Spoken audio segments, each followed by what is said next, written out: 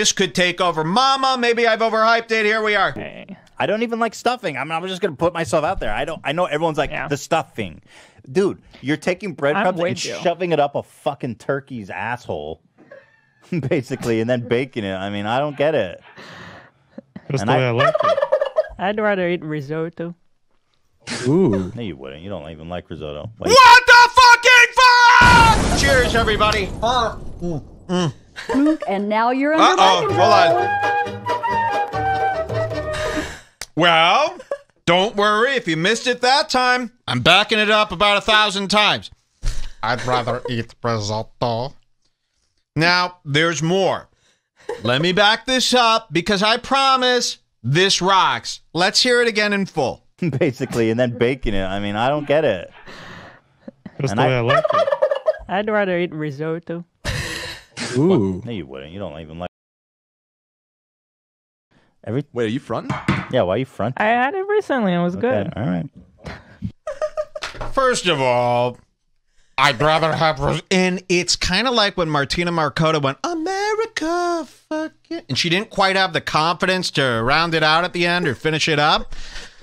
I'd rather. Are they dying? Going nuts. Thank you so much for understanding. Also, Thank the you. Sky Fool They're dying in the chat. Everyone's dying at home. I hope you're. Come on, guys, start dying at home. The Sky Fool tracker right at the beginning of the shows, or Fool's Parade. Sorry, he goes, Jules, I caught Gila saying the dumbest shit. I And it was is this? it. I cried. Holy fuck. Hearing Gila say risotto. Okay, so watch this again. So, first of all, she's going, I'd rather eat risotto. Now, Ethan has never had risotto with her. I said to Jules, I go, this would be as crazy as if you said, because me and Jules have never had risotto yet together. No. We just haven't had the opportunity. I'm sure we would like it. But if Jules said to me, I'd rather have risotto, I'd go, what? This is what's happening here. So is Gila some kind of sneak? She's sneaking out and having Italian lunches? sneaking out and going to Gordon Ramsay's uh, Hell's Kitchen? Let's zoom in on this fucking whack weirdo. I think all the Teddy Fresh puff screen printing ink is getting to her brain. Listen to this again while we zoom in. Risotto. Wait, wait, wait. I know everyone's like Yeah. the stuffing, dude. You're taking breadcrumbs with and you. shoving it up a fucking turkey's asshole, basically, and then baking it. I mean, I don't get it. Oh, What's this? That's And the I- way I like it. I'd rather eat risotto. Ooh. Okay. It's almost there's something here. I'm trying to articulate all this. It's almost like what is it about this? You know, it's almost like she she knows herself she's not going to be able to pull this off. And I want to show you. Oh, sorry, Rogan. I want to show you Ethan's uh, response here, because this is like learning that your wife has a secret double life, right? You know, watch this. That's And the I- way I like it. I'd rather eat risotto. Ooh. No, you What? wouldn't. You don't even like risotto. Why are you trying? No, you wouldn't. You don't even like risotto. Imagine this. Isn't this something else? Watch this. I like it. Every Wait, are you fronting? yeah. Why are you fronting? I had it recently. It was Okay, good. all right. Wow. You know, I don't like to do body language stuff, but that's the face of a guy going, well, what other secrets do you hold? Let's uh, watch Gila try to get out of this one here. I hope you like this. I mean, it's not the most adult content, but people I are- love I bet this. people are like, wait, he hates politics, but this is what we should be into? Yes, Yeah, I, yes, I actually think I actually do. I think this is better for you than arguing about government all day. We'll tell you this: the uh, Alex Jones was on Revenge of the Cis, Mersh's podcast. People were amazed. How did he get him? How did he get him? He's easy to get. We actually have Alex Jones coming up as well, but we're going to not do the interview. It's just we're going to have him on, and then I'm going to close it, and then I'm going to go see anyone could get him. Um, but they sat around and they talked about government for two hours. Serious, no jokes, government, politics. We must rethink what's going on. By we, I mean you. I, I'm completely good. Um, but uh, guys, are you in social studies class all day, every day? This is what you like? History? I mean, it's not even history. Literally, history class or social studies in sixth grade is more entertaining than what you're up to right now. Every day you're just discussing politics and the government. And I like to use this word government, you know, because politics sounds almost fun now. Uh, you're just listening to people discuss the government. We must wake up. We must pull ourselves out of this.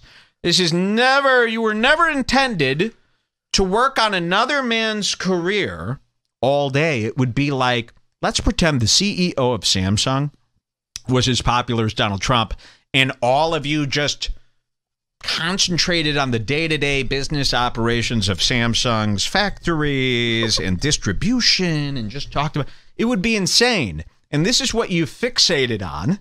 It's not your fault. They made it juicy, but you must pull out. This isn't doing you any favors.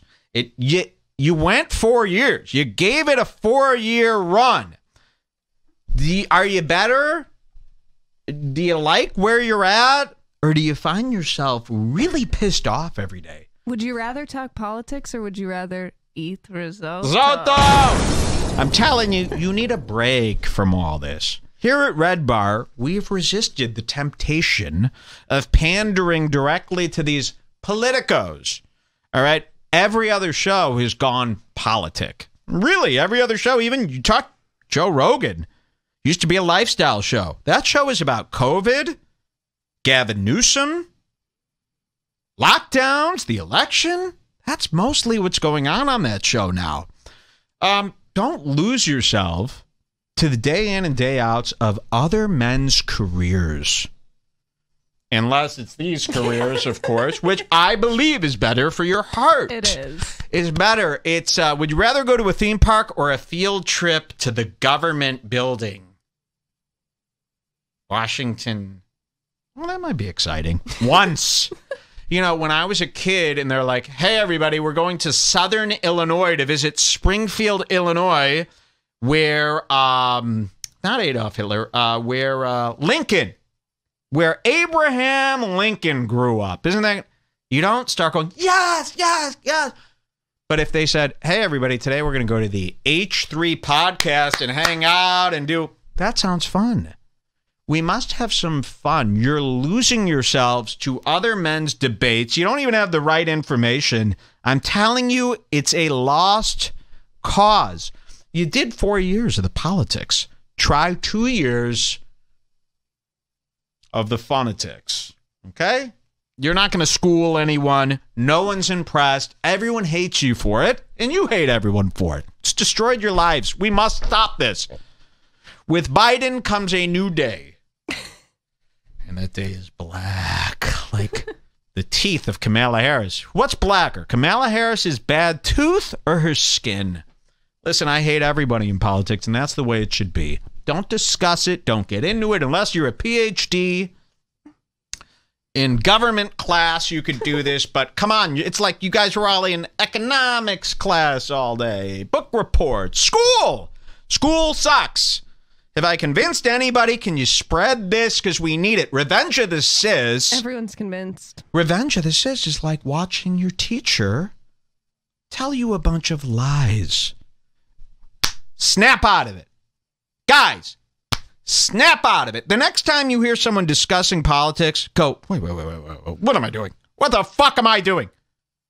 If it were a movie, you'd turn it off. If it were a song, you'd turn it off. But you've allowed your podcasts to completely, and by the way, there's been no information over this last, no new information over the last four years. Gavin McInnes, Stephen Crowder, it's the same rhetoric over and over and over. No different than what Kumail's doing. At least Kumail makes movies. Stephen Crowder just makes people mad. At least Kumail has other things going on in his life. You don't want to be Kumail, do you? Get the fuck off Twitter. Get out of politics. Take it from me, the happiest host in podcasting. I won't let you down. Thank you, and that's it.